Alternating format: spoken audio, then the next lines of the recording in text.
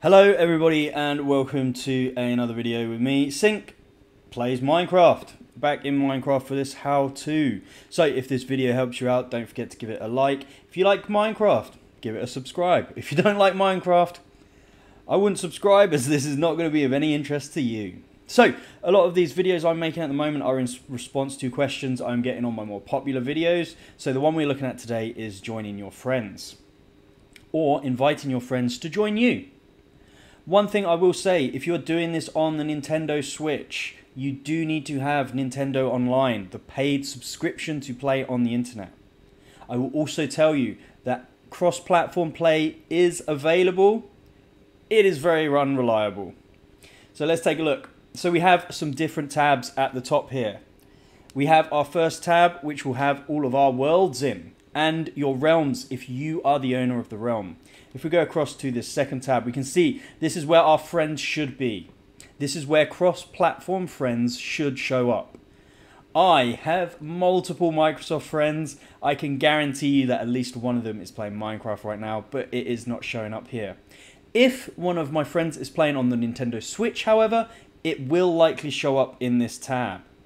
So I have not been able to join a world that's not a realm, a world of anybody that is cross platform.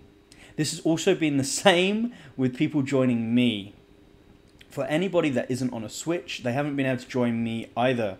There are two things that can be affecting this. That one is your internet, your NAT type, and the other is since the latest update of 16.4, this has become an issue. I have only had tickets in response from Mojang saying that it's a known bug and they are working on it.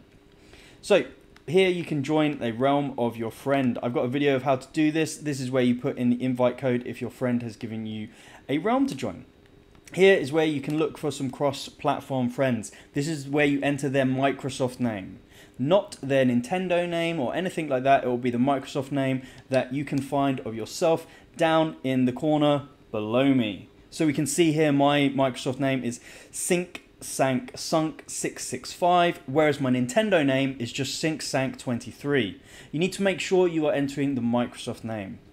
So another thing you can do is you can just jump into your worlds. So we'll just go to this one. Hopefully I have got multiplayer available so I can show you the tab where you would go to invite your friends. If not, this will be cut out and I'll have to go to another one. Once we get in here, I'll bring you guys back. So here we are. I had to create a new world. The other one did not have multiplayer enabled. So one thing we're going to see is as soon as I press this, you'll see there is an error telling me, oops, your Microsoft account was disconnected. To invite more players, sign in on the main menu and restart your world. This is not true. I definitely am signed in to Microsoft. This is why one of my most popular videos is how to sign into your Microsoft account because currently there is massive issues between joining your Nintendo to the Microsoft account. So we'd just go over here to invite game to invite our friends. Now, this is where we can see I definitely do have some online friends. And we can see the offline friends here. You can just select them, put a little thing like there, and then you can invite these players. If you want to press X, you can then just enter the gamertag. Again, this is where you are going to be entering their Microsoft name, not their Nintendo name also on PlayStation, they will have another name again as well, but it is the Microsoft name you need to be entering to invite your friends this way. There's another option we can go over to in settings, which will look down at the members. Oh, members doesn't exist in this map. So if you are on Realms, there is another section called here called members. It gives you the same invite options as we can see over here. So this is just basically how you invite friends. There may be some other ways, but they are not as clear as this, and this is the intended way that Nintendo wants you to use. The only problem is cross platform is very, very unreliable, and there is a very good chance that people won't be able to join your world.